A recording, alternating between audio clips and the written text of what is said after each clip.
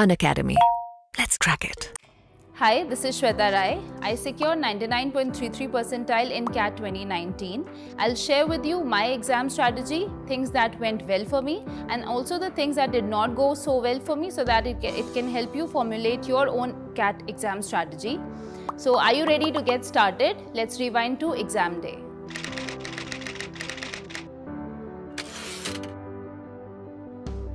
the night before the exam. The night before the exam, a lot of things you have to keep in mind. First of all, do not eat very heavy food because you you might feel bloated or you might feel heavy that day as well as the next day. So just eat light, eat fruits, and also I would suggest do not drink a lot lot of water because you cannot afford to go to bio breaks during the exam. So do not drink a lot of water, but do not dehydrate yourself as well.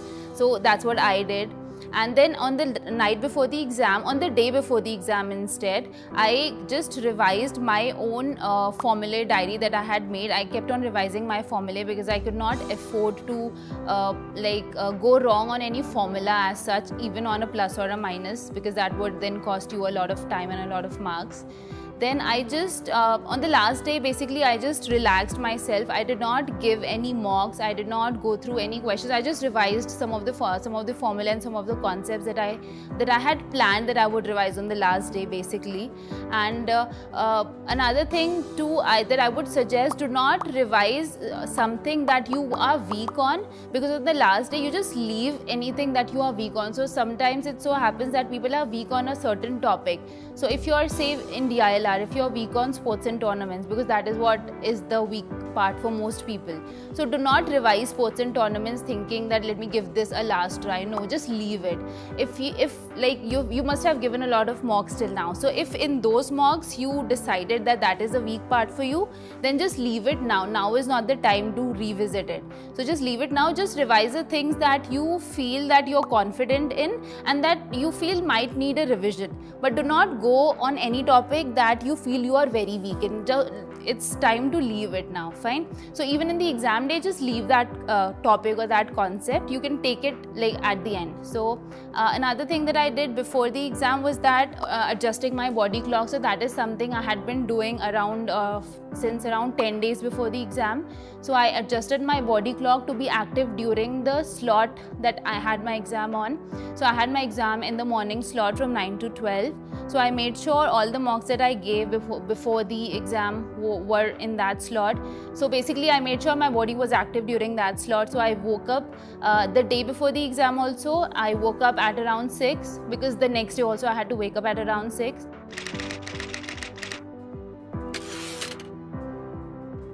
Morning of the exam. So um, on the day of the exam i woke up at 6 i had my alarm set and like i had adjusted my body clock accordingly. So basically i did not really need an alarm. I automatically myself woke up at 6 then like i just did my morning routine. I had my green tea. I again like i had my green tea while revising my formula diary because that is something i had to make sure I was pick and span. I could not uh, afford to go wrong on the formulas again and my dad was the one who was who went with me to drop me to the center and the center was like not very far from my house. So even then we like left at around 7 so my exam was from 9 we reached there at around uh, 7.30 to 7.40 some things to keep in mind uh, i even though it was specifically mentioned in the rules that you cannot wear any sort of jewelry or any basically it was written you cannot wear any sort of jewelry or any iron items. I ended up wearing a clutcher which was not necessarily any of these. It was a uh, rubber clutcher but uh, uh, on the center they asked me to remove my clutcher so basically i had to make a ponytail there. So uh, you make sure you do not wear any jewelry any clutcher any pins. You can at most have a rubber band in your hair. That is it. Uh, another thing is that do not carry uh, anything. Basically you cannot carry a watch do not carry so basically at our time i ended up carrying uh, pens and papers which they asked me to keep outside because inside they provided us with pens and papers. Uh, we can we could not carry water bottles or uh, basically we could not carry anything. We all we had to carry was our admit card uh, identity card and two passport size photos. So this is something that most people forget.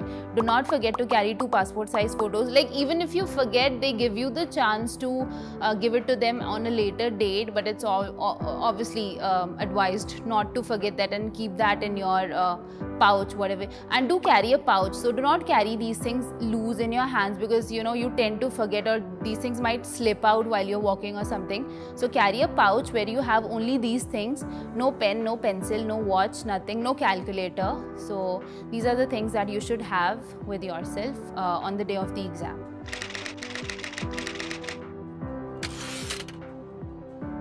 now reaching the examination center. So at the examination center, as I mentioned, I had my dro uh, dad dropping me off at the center and this is what I would recommend to have somebody drop you there because it's always motivating and supporting to have somebody known to you at that place of the center. So I remember most of the people had somebody dropping them there.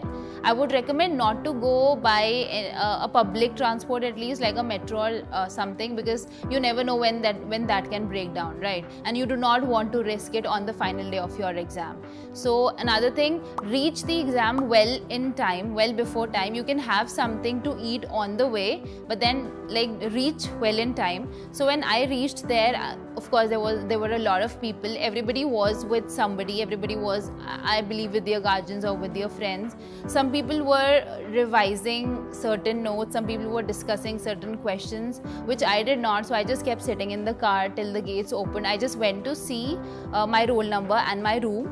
And then i came back. I sat in the car till the gates opened and then another thing that I noticed was as the gates opened, people rushed to the gate as if like somebody would block them from entering. So do not do that. You know, you of course when you have reached there, so they will open the gates well in advance so that you can enter in time. So do not rush. You do not have to because of course all that increases the anxiety, right? So take your time as as and when the rush uh, reduces down go go and enter the hall now, as you enter the hall, they'll give you a certain guidelines. They'll just check you. So, as I mentioned, do not wear clutches or pins Like if you're having that, they will just ask you to keep them aside, and then you will enter the hall. Now, uh, when you enter the hall, uh, they take you in like around 45 minutes before the final exam. So you can enter, you can go to the washroom, you can have water, just sit down, relax, just do not discuss anything. Do not discuss, basically, do not discuss anything about the paper. Basically, do not talk to anyone there because you never know what mindset the other person has. And like basically so just uh, be calm relax sit by yourself. Just try to revise anything you want in your mind. Just relax yourself in whatever way you want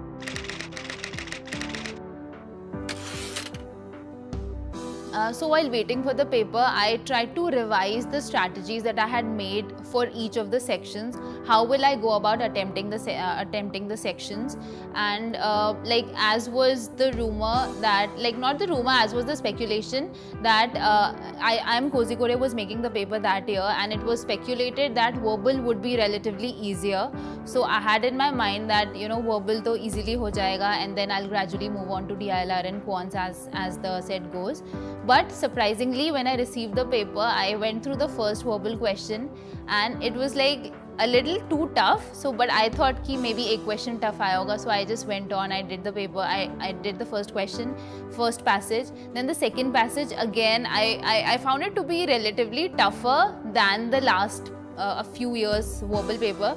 So suddenly I was like shaken because I had come with the mindset that verbal easily ho jayega and then I'll focus my energy on DILR and quants.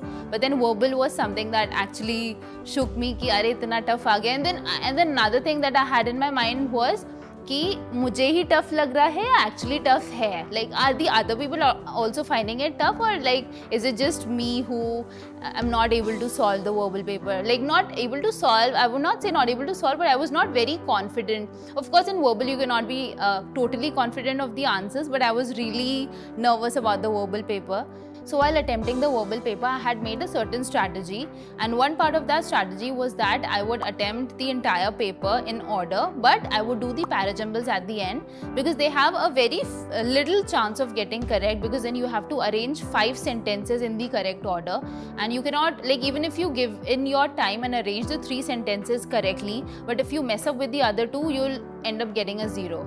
So I had thought of uh, doing that at the end but while giving the exam uh, facing like difficult RCs I somehow thought that maybe I should try doing the parajumbles first. So I went on there. So basically, this is something that I would suggest you not to do because that was the strategy that I had made uh, after giving so many mock exams, right? And so many of the mock exams had uh, like you know mock exams have uh, some of the exams have a tough tough verbal section some have a tough DILR section. So there is a good mix of it. So I had made that strategy after giving so many mocks. But on the final day I got so nervous I changed my strategy and then of course like in the end I scored the lowest in verbal only. So I think it was because I changed my strategy. So I would suggest you not to change your strategy. Like be a little flexible as to like of course cat is known for giving you surprises. So you cannot be totally rigid as to ye socha hai to yehi karna hai. You can be a little flexible but do not change your strategy like you know upside down. So that is one mistake that I made. Unacademy. Let's crack it